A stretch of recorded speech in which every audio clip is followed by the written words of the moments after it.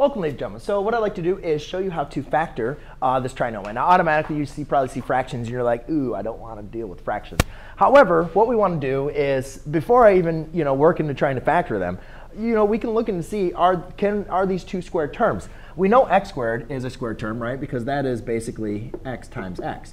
Well, can I rewrite 1 fourth as a squared term? Can I take the same factor multiplied by itself to give us 1 fourth? And yes, that's 1 half times 1 half. So cool. Now I just need to say, well, so therefore my factors looks like this possibly works. x plus 1 half times x plus 1 half. Now, we know that these two work, right?